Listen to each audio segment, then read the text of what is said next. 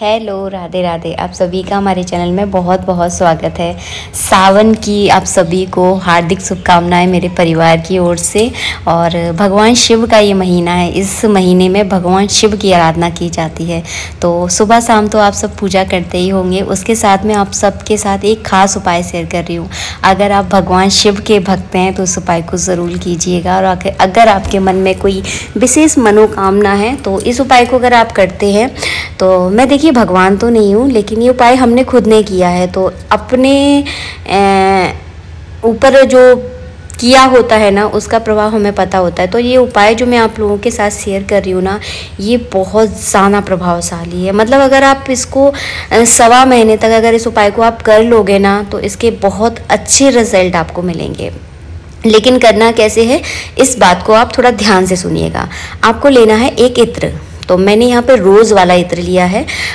आपके पास जो भी इत्र हो, जिसकी खुशबू आपको पसंद हो, उस इत्र को आप ले सकते हैं और उसका ऊपर का जो कैप होता है, उसको निकाल कर जो है ना थोड़ा सा इत्र भगवान शिवलिंग के ऊपर इस तरह से आपको डालना है।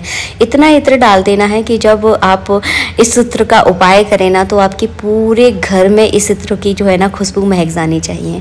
तो मैंने थोड़ा सा इत्र डाल दिया है। अब चलिए करते हैं उस उपाय को। तो आपको क्या करना है? भगवान की जो शिवलिंग होते हैं ना, शिवलिंग पर आपको इस तरह से बढ़िया से मसाज करनी है।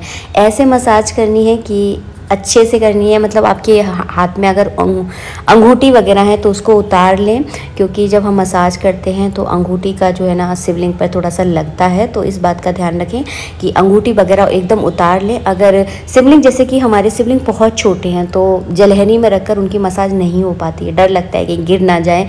तो आप अपने हाथों की हथेली में इस तरह से देखिए शिवलिंग को रखें और अच्छे से धीरे धीरे हाथों पर हल्के हल्के हाथों से मसाज करनी है। कैसे करनी है? जैसे कि आपका छोटा सा बेबी होता है ना छोटा सा बच्चा होता है, जिसकी आप मसाज करते हैं, बहुत धीरे धीरे हाथों से, ताकि उसको फ़ायदा भी हो और उसको लगेगी भी नहीं। तो ऐसे ही भाव से आपको करनी है। तो ये मसाज आप कम से कम पाँच मिनट, दस मिनट या पंद्रह मिनट भी आप कर सकते हैं। जितना देखिए आपके पास टाइम हो, इस तरह से करना है। और ध्यान रखें कि मसाज करते समय अंगूठे का प्रयोग आपको बिल्कुल भी नहीं करना है। अंगूठा एकदम निषेध होता है पूजा में यूज़ करना तो अंगूठे का प्रयोग आप बिल्कुल भी ना करें और फिर धीरे धीरे हाथों से मसाज करें। मैंने अपनी अंगूठियाँ नहीं उतारी थी क्योंकि ऐसी दोनों, तीनों अंगूठियाँ ऐसी हैं जिसको मैं बार बार नहीं उतार सकती हूँ। तो मैं हथेली पर भगवान शिव की, शिव को जो है ना, इस तरह शिवलिंग को रख लेती हूँ धीरे धीरे हाथों से मसाज करती हूँ।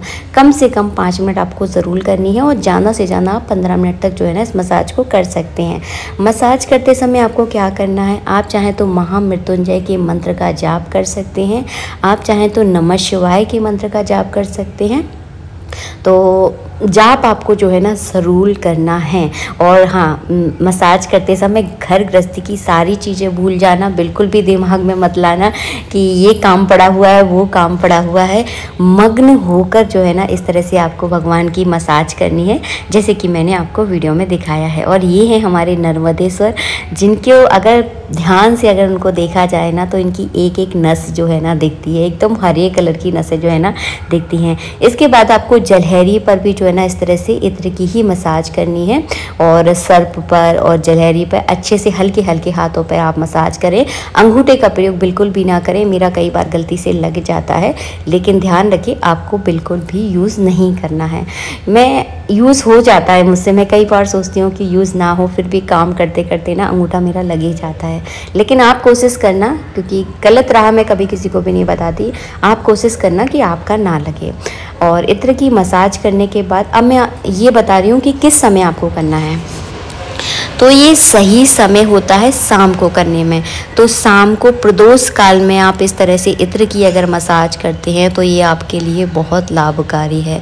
और समय आपको थोड़ा सा निश्चित करना है। समय कैसे निश्चित करना है? जैसे कि अगर आप साढ़े छः बजे करते हैं तो आपको ये मसाज साढ़े छः बजे ही रोज़ महीने भर तक करनी है। ऐसा नहीं है कि एक दिन आपने छः बजे कर ली, फिर दूसरे दिन सात बजे कर ली, फिर आठ बजे कर ली। ऐसा नहीं करना है।